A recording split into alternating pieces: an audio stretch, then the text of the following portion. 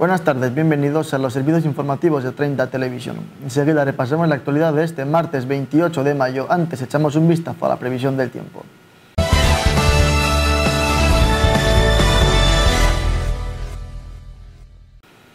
Para hoy, martes, las temperaturas oscilarán entre los 9 y 29 grados con un cielo prácticamente despejado. Mañana, miércoles, la situación será similar y el jueves las temperaturas experimentarán una muy ligera caída y el cielo presentará algo más de nubosidad.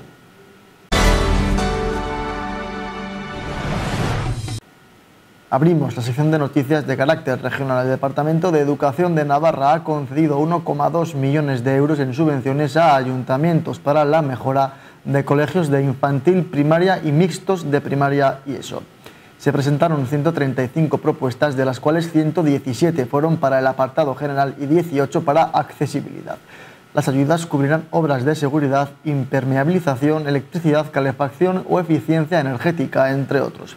Además, se destinan 500 euros específicamente para adecuar los espacios educativos a la normativa de accesibilidad universal. Las solicitudes se priorizaron según urgencia, necesidad, antigüedad de la instalación y escolarización del alumnado vulnerable. El Departamento de Educación del Gobierno de Navarra ha aumentado en 200.000 euros las ayudas para las escuelas de música municipales, alcanzando un total de 3,4 millones de euros. Estas ayudas, que suponen hasta 1.000 euros más por estudiante, están destinadas a cubrir gastos de funcionamiento y mantenimiento. Las solicitudes pueden presentarse hasta el 13 de junio de 2024. Estas subvenciones no superarán el 33% del presupuesto inicial de gastos de 2024 ni la aportación realizada en 2023. Cada escuela puede recibir hasta 6.000 euros por estudiante matriculado en centros de estudios musicales profesionales o superiores con un tope total de 600.000 euros. El Departamento de Salud de Navarra ha lanzado un proyecto piloto para mejorar la prevención de riesgos laborales en la zona de Tafalla, beneficiando a 20.000 trabajadores de 1.372 empresas. Con un presupuesto de 100.000 euros y una duración de un año, el equipo compuesto por personal técnico y sanitario realizará visitas a empresas y ofrecerá formación a profesionales de la salud. El objetivo es mejorar la salud laboral, integrar la prevención en la gestión empresarial y fomentar una cultura preventiva. La oficina del proyecto se ubicará en Tafalla compartiendo espacio con el programa País. Damos paso a la actualidad de nuestras localidades. Jofemar ha llegado a un acuerdo con el Ayuntamiento de Peralta para financiar y organizar el Triatlón de Peralta, que celebrará su octava edición el 16 de junio. La empresa proporcionará los recursos económicos y logísticos necesarios y el ayuntamiento aportará infraestructuras y seguridad.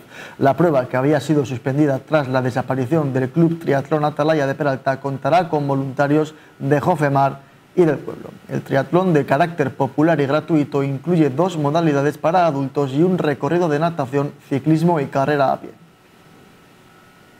En cuanto a seguridad ciudadana, la Policía Foral ha detenido recientemente a dos personas en Peralta, uno por robo con fuerza en el interior de una vivienda al que se le imputa también atentado contra los agentes y otro por hurto de dinero de la caja registradora de un bar. Este último contaba con 19 antecedentes, 20 ahora.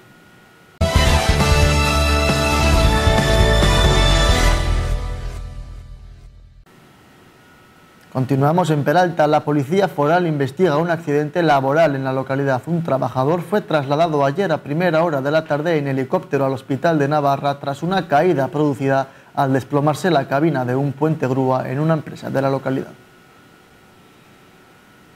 En Cadreita, por su parte, el ayuntamiento ha publicado ya las bases del concurso del cartel anunciador para las fiestas patronales de la localidad. El plazo para presentar las creaciones estará abierto hasta el próximo 14 de junio a las 2 de la tarde.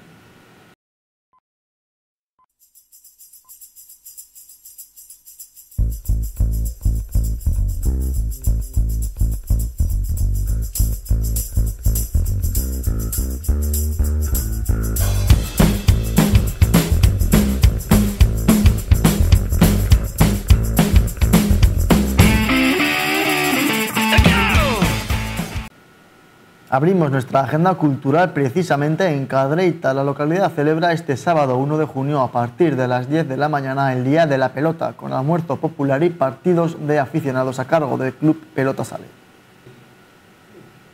Pasamos a hablar de Funes. Desde ayer y durante toda esta semana los alumnos de la Escuela de Música darán las audiciones de final de curso.